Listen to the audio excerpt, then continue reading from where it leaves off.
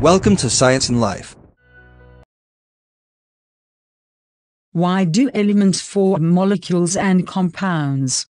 Because not all elements can exist alone, as they are unstable in their atomic form. Some elements can exist as molecules, examples, hydrogen, oxygen, nitrogen, inert or noble gases, such as helium, neon, argon, xenon, radon, and oganesson can exist alone. Why? Other elements cannot exist alone.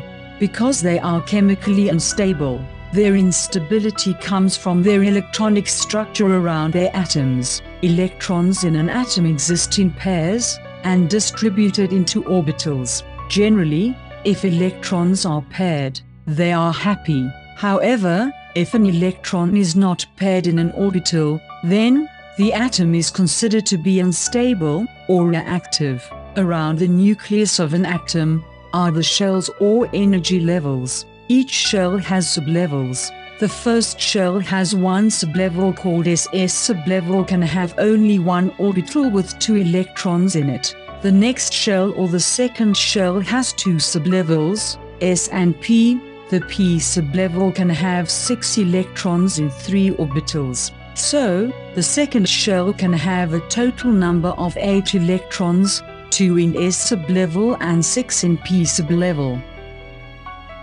The third shell has 3 sublevels S, P, and D. The D sublevel can occupy 10 electrons distributed into 5 orbitals.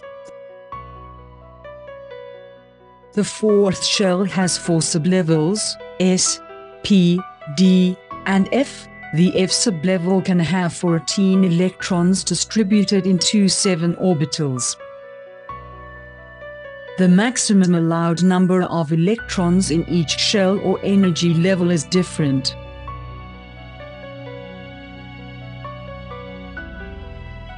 The first level can have only 2 electrons, the second level can have 8, the third level can have 18, and the fourth level can have 32 electrons.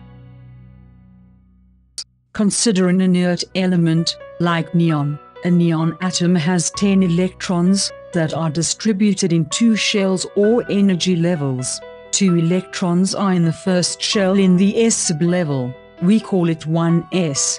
That is, these two electrons are in the first energy level in the S sublevel. The remaining 8 electrons are in the second shell that contains two sublevels, S and P, 2 electrons in the 2s orbital and 6 electrons in the 2p orbitals. In the neon atom, the outer shell is completed with all paired electrons. Since there are no unpaired electrons, neon in its atomic state is happy, unreactive towards other elements, and can exist alone.